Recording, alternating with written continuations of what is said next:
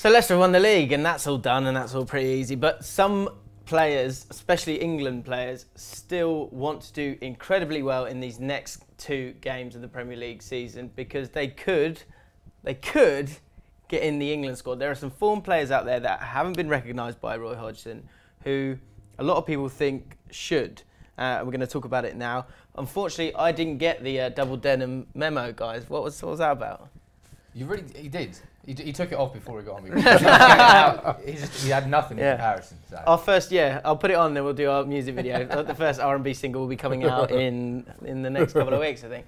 Uh, so, get back to the point. Um, there are a few players who Roy Hodgson has missed over the the last couple of years, and probably some players who deservedly disappeared for a bit and are now getting back in the fold. I'm going to kick it off straight away with Andros Townsend, who has, uh, you know, he's gone to Newcastle, wasn't working at Spurs, wasn't getting those games, um, and he's done really, really well there, isn't he?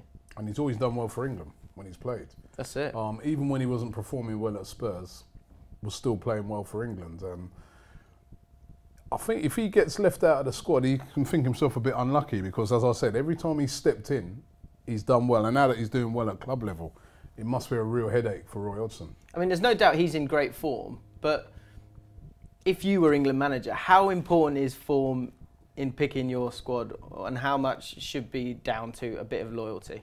What do you think? Mm, loyalty. It's like Iker Casillas still being Spain's number one goalkeeper.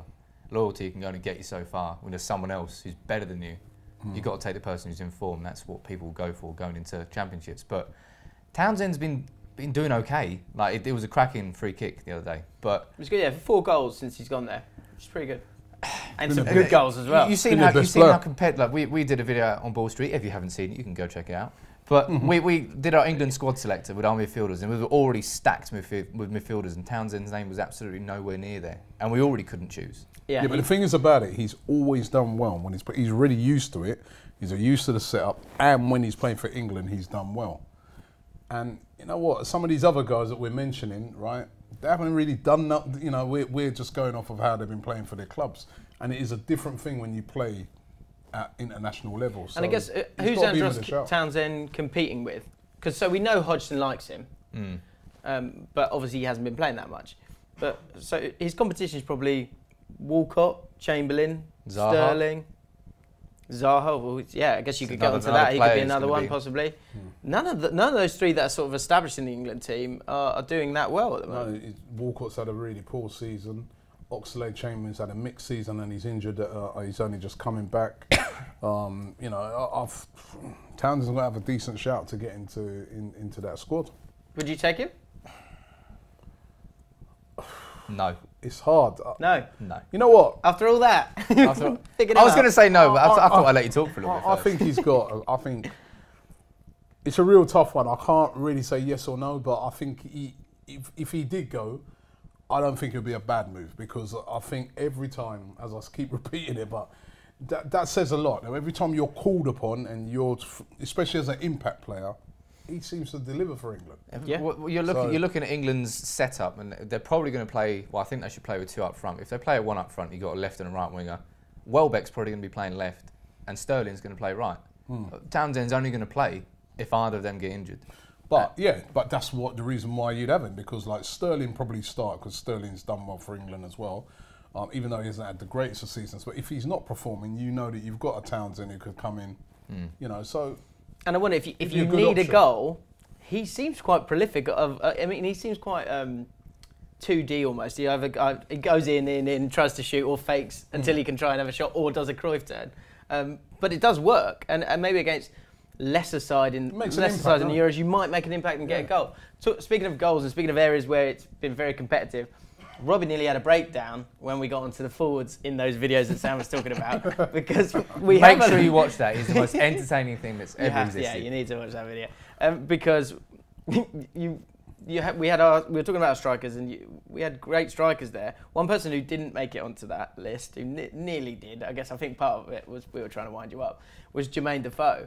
Now I, I tweeted out la- last week after the Sunderland game that he's got that goal. Is there m- a more indispensable player than him in the Premier League? If he you take him out of that Sunderland team, mm. they they're gone. They're long, long gone, aren't they? 17 goals. It's incredible. Should he be rewarded for, for what he's doing when you've got someone like Sturridge who against Swansea was really poor?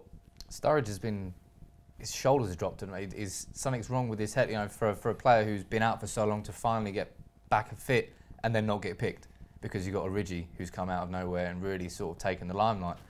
He looks like he's got a bit of an attitude problem at the moment, and he Still does, scoring though. no, but he, he I doesn't. mean, look, I'm a but huge doesn't- Sturridge fan. No, I, I'm a bit. I'm, I'm a big Sturridge. I don't particularly like him as a person, but I think as a striker, he's an excellent, excellent striker. I'm just glad you didn't mention Andy Carroll because I thought you were talking. that was about my next name. That was No, my no, next name. We can just. We don't need to waste your time talking Well, again, about taking again, Andy you, Carroll. you need you need options off the bench. He's an option, man. No. He's an option. Yeah, I mean, yeah. He's got a hat trick against you boys. Yeah, he scored a hat trick. yeah, that was easy. The fi- yeah, all right, here we go. but he's an option, though. He- You know what I mean? I, I I wouldn't say I'll bring him, right? But he he's that type of player that will be very hard to defend against. Because a lot of defences are not used to coming up against players like him. That's it. And- Option and again, late on in a game, you're late, to that's it.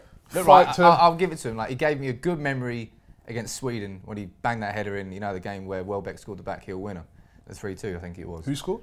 Welbeck, you know that person we sold to, we didn't need him anymore. The one that you guys didn't want to have in the Nah, squad. The one that's been It's not scoring about Man United and nearly Arsenal, every week. But anyway, yeah. We anyway, drifts yeah. towards Man United, Arsenal, doesn't it? But yeah, United. I'm sorry, not United. You got me talking about United. now. England have got such great striking options that I don't think we should be considering Carroll. Yeah, it's, it's something different. Yeah, great.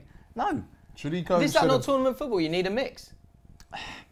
Why should Rooney be in there at the moment? As a, I as a United as a United fan, the way even that he's been playing recently. Well, I'll tell you what. What about this, right? So often, and uh, you know, touch wood, it doesn't doesn't happen. but often a player gets injured. Gary Neville got injured. Uh, David Beckham got injured. Rooney's been injured. Gerrard's been injured. Owen. In the lead up, Owen. Um, if one of those strikers gets injured, and you can bring in one of Defoe and Carroll, Marcus Rashford, is he one as well? I don't. I think it's. Um, he would love to go. Obviously, he would. No, no 18 year olds. Is he good enough to go?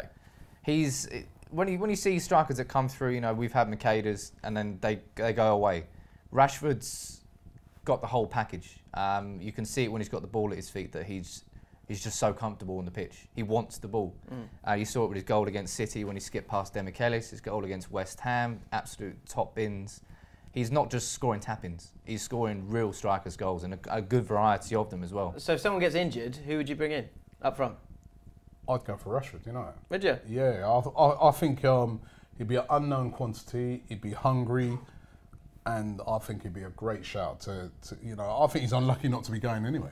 You know, what I mean, because just that, the fact that he's coming on that big stage, all those teams he scored against as well, they've been big teams. He scored hmm. against Arsenal, City, in the Manchester derby. You know what I mean? I, I, th- I think this guy could come in defenses won't know a lot about him, and he could definitely make an impact. And again, he's got that pace, and he really does seem to have an eye for goal for me. I've been really, really impressed with him, and I think sometimes you've got to throw a guy in that nobody knows about, that nobody's expecting, and a guy like that, if you could bring him off the bench in certain games, hmm.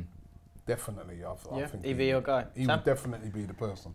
I, I personally, I wouldn't want to see him go. I just think, you know, he's, he's 18. He'll have tournaments in the future. Jesus. I'd Club like- v country. I, want to, I want to protect Why him. don't you want him to go? Uh, because I want to protect him. Because For he- what? For protect him from what? Just because you know he's, he's 18, man. You saw Rooney went to Euro in 2004. He's, he, he lit the Do stage you, do up. you want England to, to win the Euros? of course, I want England to win the Euros. So why don't you want if if you've got a player that could possibly win us it, right? Didn't say- expect the argument to be this way round.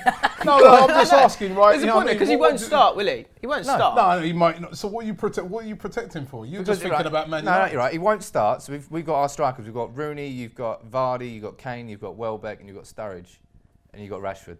So you're going to take him as sixth choice because he's not. He's, he's not going to get ahead of those, is he? But you're, Roy, you're, you're Roy. he Ho- learn. You're Roy Hodgson. You, Bring you, him along. You take him. along. You're let- just let, trying to protect Let him just him chill out in Manchester, watch Game of Thrones. Just, next season. Ju- I just want him to have a rest, man, because you know, 18-year-olds come and they get thrown straight into A the rest limelight. from what? He's only played about seven, eight games. No, he's mate. He's started like 16 consecutive games since he's come into the side. It's, So it's ridiculous. he's, he's 18. What's no, I, d- I don't. from? I don't want to rest him. I just want to take him out of that spotlight and just let him just let him collect himself because he's had a mad year. How would you like to win this Puma football signed by none other than Adam Lallana? Well, you can. It's dead easy. Click the annotation there, go through to the Ball Street YouTube channel, find my five things that Liverpool need to do this transfer window video and just simply subscribe and comment below to win. You've got to subscribe, you've got to comment, and you can win this tremendous Lallana football.